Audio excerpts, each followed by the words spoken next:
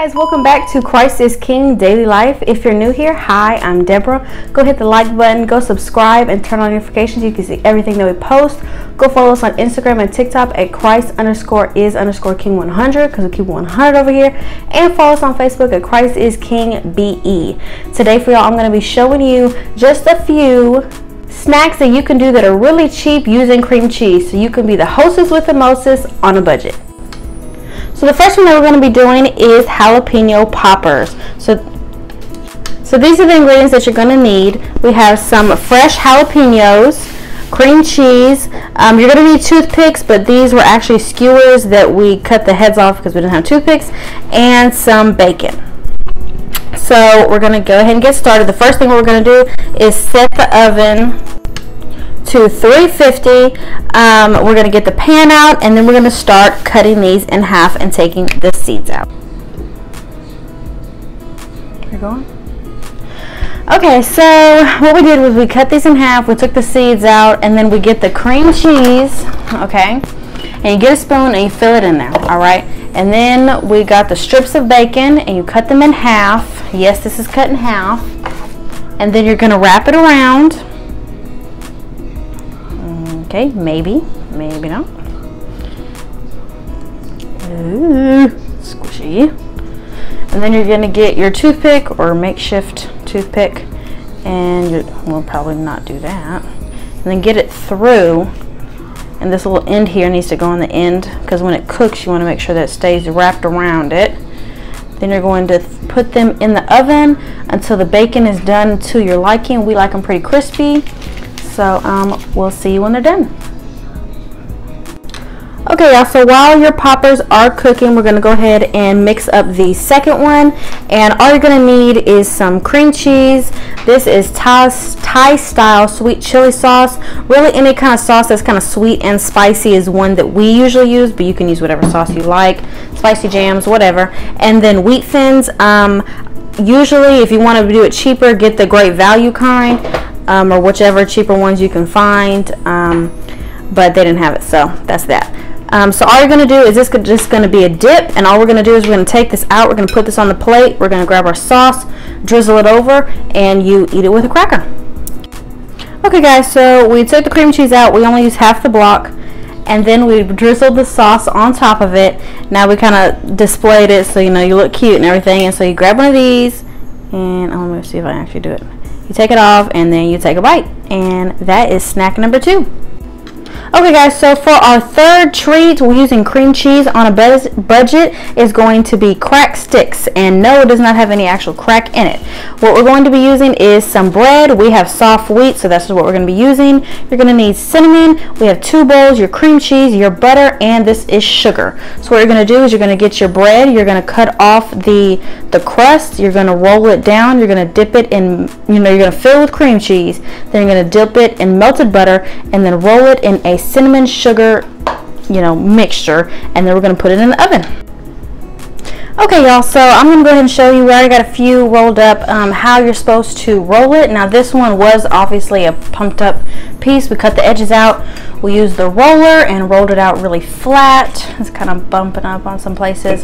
We're going to get the cream cheese, maybe, hopefully so. And we're going to spread it on there um, well, maybe. Maybe not. Okay, well, we'll just finish that one later. Okay, so after you're done spreading that all and stuff, you're going to get one of these. This is supposed to look all pretty nice. You're going to dip it in the butter. Okay, make sure it's good and saturated. They're going to dip it in the cinnamon sugar. Okay, make sure it's good and coated. All right, then you're going to put it on your pan and you're going to cook them. Okay, y'all, so with these end pieces that y'all cut off, what we're going to do is we're actually going to make little cinnamon crisps or whatever you want to call them with this with your leftover, um, obviously, crust and butter and cinnamon sugar. So you're just going to dip them in the butter and then you're going to dip it in the cinnamon sugar. Maybe. Why every time I record it doesn't want to act right? Okay, and then so you're just going to cook them with your crack sticks. Okay, y'all, so for our fourth um, treat using cream cheese, what you're to need is obviously cream cheese, cucumber, bread, and your seasoning of choice. I'm using the Badia Complete seasoning. I got this at Food Town, um, but you can use whatever you want really. Um, you can. Some recipes had dill, lemon juice. Um, you know, you can use Creole. You know, whatever y'all want to use. But we're going to be making cucumber and cream cheese sandwich. Okay guys, so I'm just gonna show y'all how we did the cucumber sandwich. So first what I'm going to do is I'm gonna grab some cream cheese. I'm going to smear it on the bread. Why does this not wanna act right?